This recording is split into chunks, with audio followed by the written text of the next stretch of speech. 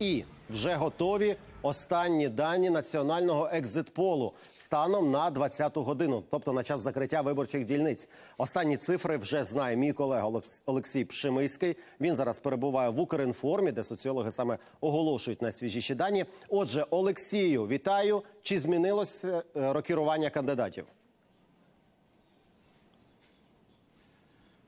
Олексію, вітаю знов. А, Власне, нам вдалося отримати фінальні результати національного екзит-полу, раніше запланованої на 11-ту прес-конференції.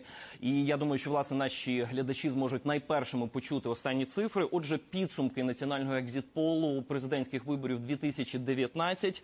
А, Незмінний лідер це Володимир Зеленський 30,6%, Петро Порошенко 17,8%, Юлія Тимошенко 14,2%.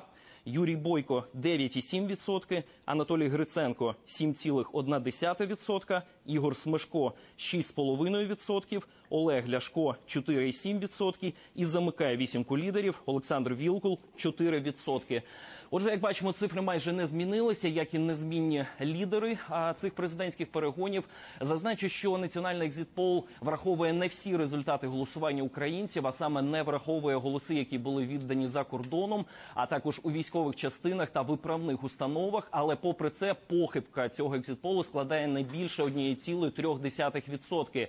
І власне скажу, що вже 15-й раз поспіль проводиться цей екзитпол, і історично його цифри майже не відрізняються від офіційних даних центру виборчкому. І а, зазначу, що як заявила а, голова фонду демократичні ініціативи Ірина Бекешкіна, у разі якщо ці результати будуть суттєво відрізнятися від офіційних, а, можна буде говорити про можливі факти фальсифікації виборів.